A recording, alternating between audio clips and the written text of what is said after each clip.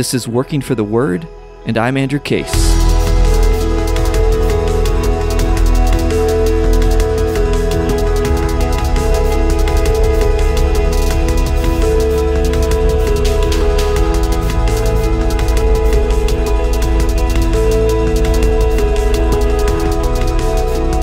With that, I just want to uh, move to this uh, final leg of the uh, Greek imprecisions, being some instances where the internal precision of Greek marking different features ends up being imprecise. So I find this an important category as I think about imprecisions in Greek, because if if people who argue that Greek is precise point to these features like marking of case and number and gender and saying Greek is precise because it does this. Um, it's it's significant to me that there's instances where marking those things actually makes it imprecise. So, uh, first example here is from Colossians. Um, in, in Colossians 2 13 through 15, you know, Paul is kind of wrapping up a section here and talking about how you were dead in your transgressions, and then God takes your sins and he nails them to the cross, putting uh, the authorities and the rulers to open shame. And it ends with a phrase, triumphing over them. And then in Greek, it's in afto. And I say that in Greek significantly because in afto here, it's a prepositional phrase, and with the pronoun afto, it's marked for dative case, singular number, but it could be masculine or it could be neuter. So two different genders share the same form. So there's an imprecision in Greek's very precise marking form. But more relevantly here, there's two possible masculine singular antecedents that it points back to. And Paul just throws out in it as though it's obvious which one it is. So earlier on, it, there's cross. Um, Paul talks about in, at the end of 14, nailing it to the cross. And then there's also the he kind of floating throughout here being Jesus. So it's possible, as the English Standard Version takes it, to finish this passage by triumphing over them in him, namely in Jesus, or as the NIV takes it, triumphing over them by the cross. What we've got right? Is, is that a big, profound theological difference? Well, no, not really. But it is from a Greek level, pointing out Greek has all these complicated morphological transformations of words, but you still end up with situations where it's not clear what the antecedent of a pronoun happens to be. Even with all of the the case, the numbers, the genders, yeah. you still run into instances where it's just not clear. Right? There's two possible meanings here, and Paul does not disambiguate between them. Um, another example from again a letter of Paul from Ephesians 2:14 or here's an example where there's a whole chunk in the middle kind of at the end of 14 and at the beginning of 15 where it's not clear at all where exactly it fits. So even with the case number gender markings it's not clear where it belongs. And you'll see this in different English translations that this parts of this end up appearing in different verses depending on how you understand it relating to the uh, the rest of the context. The, the, two pieces that don't have an obvious home in that passage are the Greek words for the enmity and the Greek words for in or by his flesh. And this is where Paul is talking about Jesus is our peace. He has made us one, has broken down the dividing wall between Jews and Gentiles. There's three different ways to understand how these relate to the context, and they're all represented in different English translations. Now, when we translate it into English, you have to take one of the above routes. You can't leave it ambiguous because it doesn't really work. Whereas in Paul's writing, it's just there. It's marked as an accusative, so we know it has to have some sort of accusative function and yet it's not clearly differentiated what participle it belongs to. Should it belong to the one in verse 14 or should it belong to the one in verse 15? Or should parts of these two phrases belong to one or the other?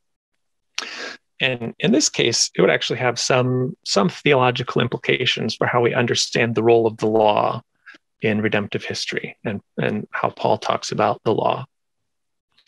So again, this is just a, it's an instance where case marking, gender marking, number marking, which are so neat from the perspective of English speakers, don't actually give us clarity as to what the Greek is intended to mean. Would it be possible to read those three different translations and point out those differences? Yes. So uh, the English Standard Version, so it's two verses. So chapter 2, verses 14 and 15.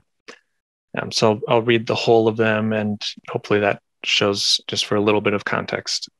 So, for he himself is our peace, who has made us both one and has broken down in his flesh the dividing wall of hostility by abolishing the law of commandments expressed in ordinances, etc., etc. Okay, after you get to that part, it's clear again.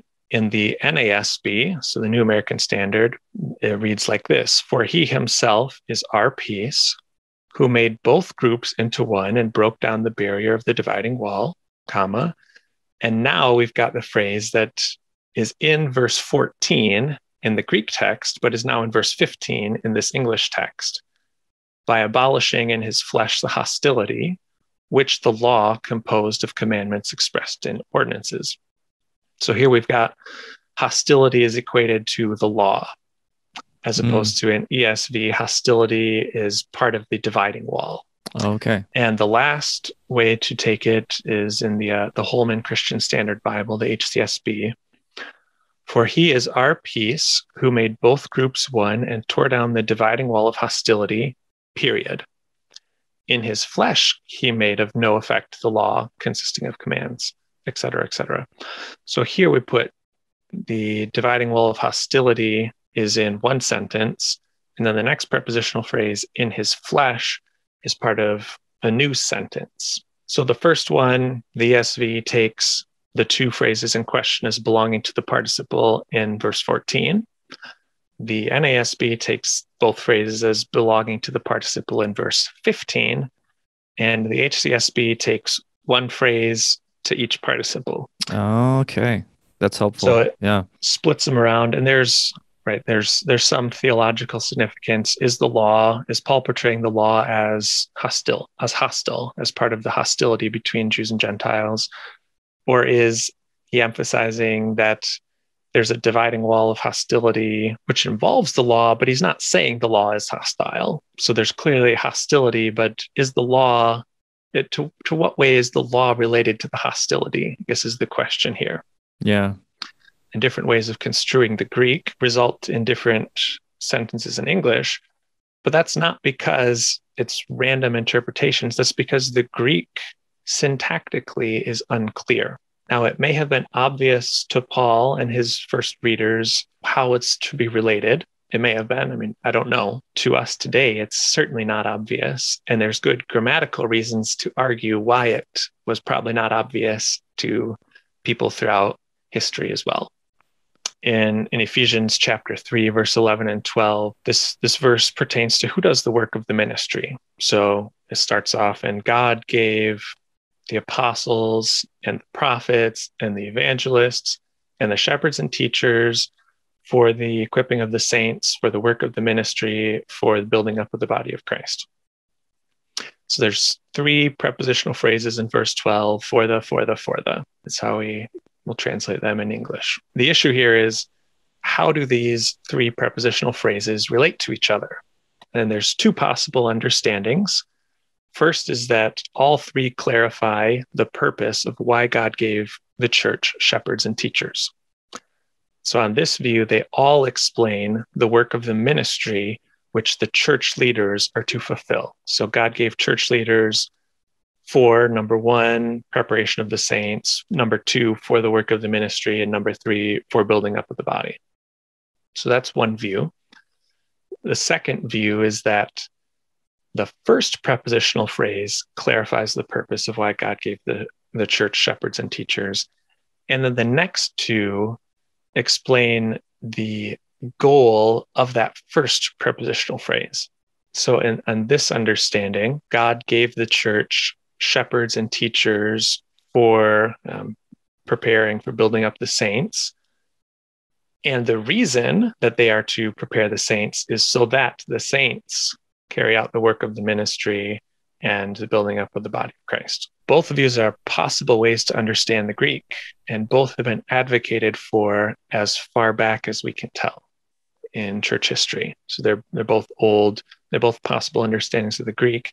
And Paul quite easily could have disambiguated what he meant.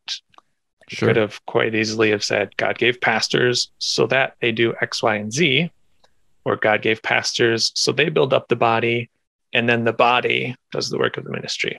How you understand this verse will have implications as to how you understand church offices to function in church and this kind of the structure of churches. And again, it's right ambiguous. It's a point where there could have been easily could have been clarity in Greek where there's not. And then just one final one from First Peter 3:14 here about uh, the mood in Greek that we call the optative mood, the verbal mood. And we could translate this, but if you do suffer for righteousness' sake, you are blessed. And the question here is the, the, the, the word suffer here, the verb suffer is in the optative mood. Now, we know in the history of Greek that the optative mood was dying as a normally used category in this period of Greek. It shortly after becomes extinct, functionally extinct, so that in modern Greek, there's only a couple of fossilized phrases that still use optative forms. It, it becomes a defunct verb form. Yeah. Um, Could you maybe define optative for those who may not be familiar? Yes, I was just about to do that. So Perfect. the optative is the optative is difficult to define for a variety of reasons. In the, in New Testament times, optative is primarily limited to expressing wish. So the, the most famous optative in the New Testament is where Paul says, me genuito, which we usually translate as by no means. It's also used for greetings, like may grace and peace be with you. Uh, may you be filled with things. So it, it's generally in the New Testament limited to expressing wishes. And it can also be used in prayers and, and things like that. In this case, it's in a uh, in a conditional sentence. So now in classical Greek, there would be a specific nuance of this sort of conditional, which would indicate Peter does not expect it to happen, but it's an outside possibility that they might suffer. So that's one understanding of it in terms of traditional classical Greek meaning of the optative in this construction. That suffering is unlikely in their current situation, but possible. Now, it's also possible in terms of Koine Greek grammar that Peter's not intending this to seem like an outside possibility, that they will suffer, but maybe suggesting when exactly or how much or how often is is uncertain. And the, the big problem that we have is we don't know what status the optative verbal mood has for Peter and for his audience. We know it's dying, but we don't know. Now, it could be that it was not vague for them, but it certainly is a vague part of Greek for us as we read it. And that's an important distinction because we don't read Greek as first century native or near native fluency speakers of Greek. Right? We read it 2,000 years removed. And how clearly we can understand what Greek is communicating is limited by that fact. And so, regardless of how precise certain facets of Greek actually are, there's certain realities that limit our understanding of them as we read it today. And that goes for people who believe that Greek is super precise as well it may have been super precise, but there's certain facets of it that we just don't know, right? We just can't know exactly what's going on. And having laid all that out, I want to kind of come back full circle, just a brief kind of summary thought. You know, there's a lot more that could be said, a lot more specific examples that could be given of any of these different categories of imprecision. What it comes down to is the claim that Greek is super precise is just not a defensible claim. Right? Greek is a language. It has some areas where it's precise, it has some areas where it's vague. We could find examples of both. Um, it is different than English, yes. It is different than any other language because it's its own beast. What these people who are claiming that Greek is super precise are usually doing, in my view, and from what I can tell, is they're actually trying to bolster some sort of theological pre commitment that they have. And I, I, think that there's two big theological reasons behind why people argue this and why people want to believe it. So, why it hangs around. Like in my instance, I somehow came across this view, though I grew up in a church where no one knew any Greek. And somehow I got this idea that Greek is super precise. And, and part of it, I think, is there's an argument cinching power. So, on occasion, there's passages where you can appeal to precise rules of Greek grammar, which support a certain interpretation. Now, the interpretation may be perfectly correct, but the Greek rule ap- appealed to doesn't actually cinch the argument. You, you might call that lazy exegesis, right? A desire for certitude rooted in the forms of the Greek language when the forms of the Greek language don't actually lend that certitude. And some great yeah. examples of, of this have been categorized in a uh, an article by a scholar, Frank Stagg, called the article The Abused Aorist, and categorized a bunch of instances in, in prominent commentaries where commentators appealed to a, a, the aorist as conveying a certain idea where it, it just doesn't. That's not what the aorist in Greek does, the aorist being a roughly like a simple past tense in Greek. Um, it's just not how it works. Um, your theology, your interpretation may be correct, but it's not correct because of the grammatical rule that you're appealing to. Um, but especially from a pulpit, sort of appeal to Greek lends an air of decisive authority. And it's significant because what follower of Jesus doesn't want a precise and clear message backed up by the clear meaning of the Greek text in the New Testament? Sure. It, it, it has a lot of power within the context of the church. And then I, I think the other reason I look at as to why this view hangs around is that it's a, a it's a theologically comforting plank in the bigger complex of the doctrine of God's word that we have. Um, mm. And this hmm. is where I think most people fall in their ideas about Greek, especially the people who don't know Greek at all it's comforting to believe that God's message is clear, decisive, precise, and that any difficulties we have stem from the inadequacies of our inadequacies of our translation and don't originate in ambiguities in the original. You know, what I would what I would counsel and as I think about this is it's important not to give people the idea that Greek is magic because it's not. It's a language. Um, it's subject to the same sorts of limitations that all languages are subject to. And we don't ultimately want people to come to put their faith in a magical idea about Greek, but to come to put their faith in the God who is revealed and who reveals himself in his word. So I think this whole like precision idea, Greek as super precise, is, is just a wrong headed way of trying to do a good thing, right? It's Buoy up people's faith in in the validity and clearness and communicative power of their New Testament. Um, but it, it's a wrong way to do that. It's a misleading way to do that because yeah. it's it's frank, frankly wrong. Yeah, I remember that.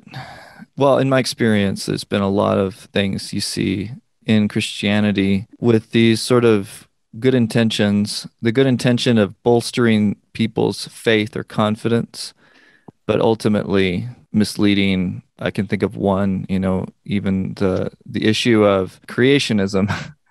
There's been some some terrible things that have been done, even outright lies, to bolster people's confidence in a creator, but at the same time muddying the waters. That's one thing I, I I think is so so tragic for a lot of people because at the end of the day you end up hurting them more than helping them when they find out the truth yeah and i can say like one of the parts of my personal journey so i've been you know gone through seminary now i'm at the tail end of uh, doctoral studies is kind of working through how i maintain my faith when a lot of the things that i was taught or led to believe in the past i've learned are simply wrong right or, yeah. or are not viable ways sure. of explaining what we have to deal with mm-hmm. and so i uh, as you said it's better to be clear on the front end rather than to uh, mm-hmm. let people find out on the tail end that they've been misled yeah yeah it really erodes trust and confidence at the end of the day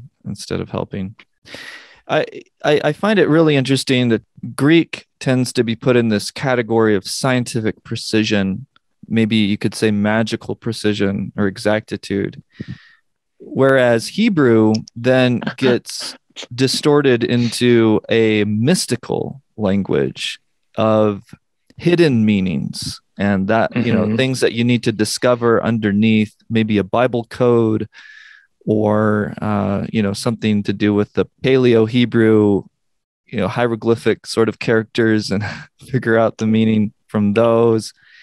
Yeah. You know, all sorts of things that get thrown around. But uh, it at the end of the day, as you say, it's a lot of lazy exegesis of, of wanting to give yourself some kind of some kind of supernatural confidence instead of finding it in the right place. Like from an English speaking perspective, Hebrew is just bizarre. Right. um, bizarre That's... and then vague. A website I was reading as I was thinking about this was the guy was making the argument that the Septuagint is part of almost like a prophetic preparation of Jesus' coming because it fixes the vagueness of Hebrew oh, into boy. the precision of Greek as sort of like a parallel of the shadow of Jesus in the Old Testament becoming the reality in the New. And just, I mean, there's so much wrong with that. Yeah. Um, but but just showing the, the perspective that this person has, and that a lot of people share that Hebrew is vague Mm-hmm. And so it's like a limited communicative tool that God adjusted himself to, yep. whereas Greek is super precise. And so that's where God gives the best of his revelation because Greek was ready for him at that time. Right. Yeah, and that argument goes all the way back to the church fathers. I'm reading a, I was just reading a book on Jerome where Augustine corresponded with Jerome over years trying to yeah. convince him not to do his new translation based on the Hebrew. He said that yeah. the Septuagint is superior. And so many people thought that way. It was basically like a KJV only, you know, but with the Septuagint, but to the level of exalting it above the original Hebrew, which is so yeah. crazy to think about, but it was big. Yeah. And then for the church fathers, basically none of them knew Hebrew. Right. So you've got yeah. that going for them. The, the Old Testament for them was the Septuagint. There was no other, there was no access to anything else. Yeah. And then just, I mean, in, in their context, I think it's fair to remember that we're, I mean, we're 2000 years removed and we're very comfortable with the idea that Judaism and Christianity are different things. And for them, that was a very different situation. Sure. That they were in, in very real exegetical battle, if you were, over who is the actual heirs to the Old Testament promises.